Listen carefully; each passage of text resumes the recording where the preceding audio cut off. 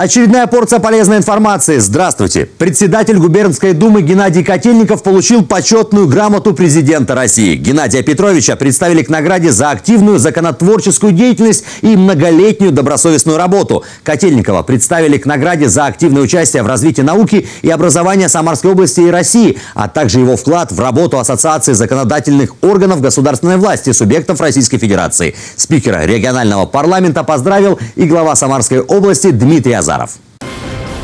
Теперь ни одного нарушения не останется без внимания. В Самаре стартовала акция «Тайный пассажир». Они будут фиксировать все нарушения на специальных бланках и выставлять оценки сотрудникам компании-перевозчика по нескольким критериям. Качество обслуживания, корректность взаимодействия с пассажирами, соблюдение правил перевозки и правил дорожного движения. Тайные пассажиры следят не только за контролерами и водителями. Они пристально наблюдают за так называемыми «зайцами», которые предпочитают не платить за проезд. Акция «Тайный пассажир» будет проходить в Самаре до конца августа.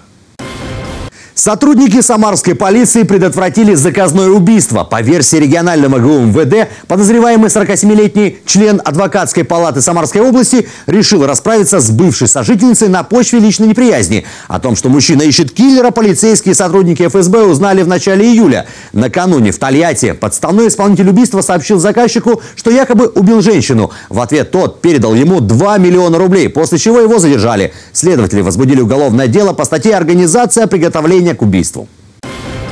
Новый сезон в Самарском театре оперы и балета начнется с премьеры «Любовь к трем апельсинам» Сергея Прокофьева. Изначальная идея оперы родилась у легендарного режиссера Всеволода Мирхольда, который издавал журнал о театре, носивший аналогичное название. Постановкой современной вариации оперы, которую увидят самарцы, занимались московский режиссер-постановщик Наталья Дыченко, дирижер-постановщик Евгений Хохлов, художник-постановщик Елена Соловьева, художник по костюмам Наталья Зималиндинова, Ростов-на-Дону и художник по свету из Санкт-Петербурга Евгений Евгений Гансбург. Новый сезон стартует 13 сентября. Пока это вся информация. Будьте в курсе актуальных новостей. Смотрите программу «События» на телеканале «Самара ГИС». Всего вам доброго. До свидания.